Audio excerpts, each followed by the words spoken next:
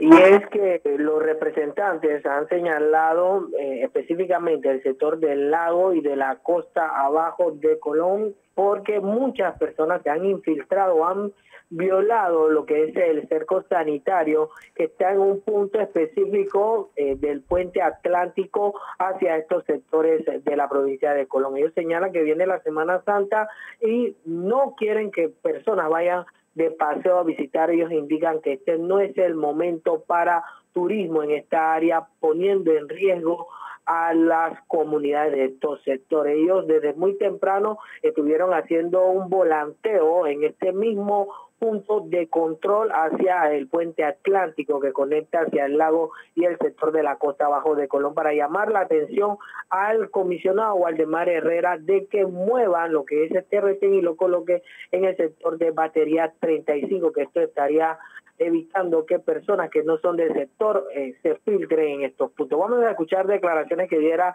el honorable Eugenio Delgado, presidente del Consejo Provincial de Coordinación de Colón. Escuchemos. ¿No da su nombre y su cargo? Eugenio Delgado, presidente provincial de Colón y representante del corregimiento de salud. Para que nos las acciones que realizan hoy los representantes de, la, de las costas. Sí, mira, nosotros preocupados porque en los últimos días ha habido una cantidad de personas que se ha ido trasladando hacia el área de la costa y del lago de la provincia de Colón y nosotros hoy queríamos hacer una campaña de concienciación, quédate en tu casa, pidiéndole a las familias colonenses, a los amigos, a los familiares de nuestra gente, que se queden en su casa, es la mejor forma de protegerse ellos y proteger la familia.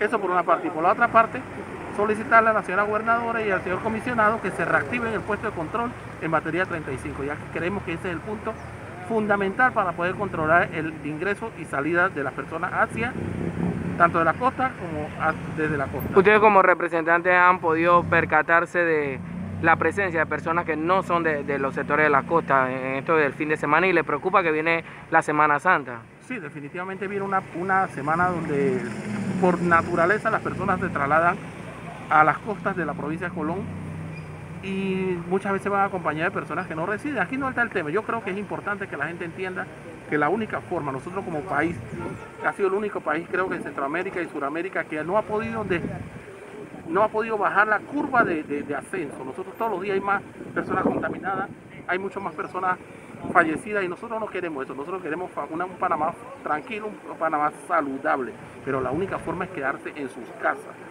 Entonces no es el momento de hacer turismo, no es el momento de ir a las playas, no es el momento de hacer las carne asada, es el momento de cuidar y cuidarse a sus familias. ¿Ustedes han podido presenciar gente que no son del sector? Sí, definitivamente, y eso es a diario, nos llaman los honorables del área de Miguel, de Donoso, de Río Indio, del área del lago, de Siricito.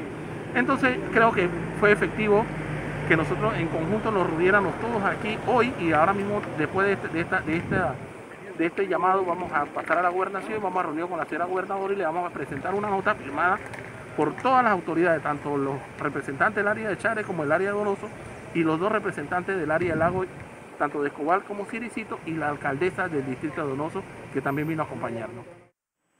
Es la preocupación que tienen los representantes y también la alcaldesa del distrito de Donoso ante la situación que se está viviendo. Muchas personas están ingresando que no son de estos, de estos sectores, poniendo en riesgo a las comunidades ya cuando estamos en una cuarentena total. Y ellos señalan que se viene la Semana Santa donde muchas personas todavía eh, piensan que no estamos en cuarentena y se filtren y se puedan dar más casos de COVID-19 en estos sectores del lago y de la costa abajo de Colón. Es el informe desde la costa atlántica, Carlos Araúz, Noticias.